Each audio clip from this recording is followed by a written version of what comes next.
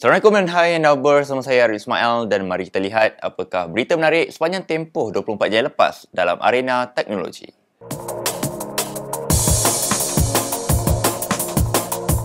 Berita hari ini mulakan dengan Gigabyte yang bakal membawa masuk 5 laptop gaming mereka ke pasaran tempatan pada Februari 2019 kelak. Model-model ini termasuklah Aorus 15W V9, Aorus 15X V9 dan dua model Gigabyte Aero 15X V9 dengan dua paparan dan resolusi yang berbeza. Kedua-dua model Aorus ini hadir dengan spesifikasi seperti paparan skrin 15.6 inci, dijana dengan chip Intel Core i7, memori DDR4 32GB serta storan SSD 512GB bersama cakra keras 2TB.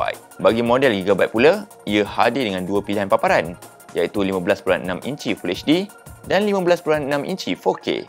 Kesemua model ini dijana dengan chip Intel Core i9, pilihan memori DDR4 16GB serta storan SSD PCIe 1TB. Harga jualan bagi laptop gaming ini adalah bermula RM8,499. Menurut Tech Armory, kesemua laptop ini boleh diperah tempah pada 29 Januari ini.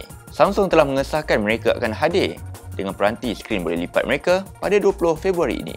Telefon pintar ini merupakan peranti pertama mereka yang menggunakan teknologi skrin boleh lipat. Buat masa ini, Samsung tidak menyatakan sebarang maklumat lanjut mengenai peranti ini. Walau bagaimanapun, ia dijangka akan menggunakan nama Galaxy F yang bakal dilancarkan serentak dengan Galaxy S10 kelak. Mengenai Samsung lagi, mereka bakal melancarkan Samsung Galaxy M di pasaran India pada 28 Januari kelak. Telefon pintar ini bakal menggantikan Galaxy J dan Galaxy On.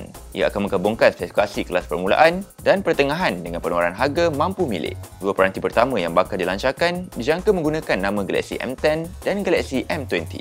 Selain itu, Oppo juga telah memperlihatkan teknologi kamera dengan zoom optical 10 kali ganda.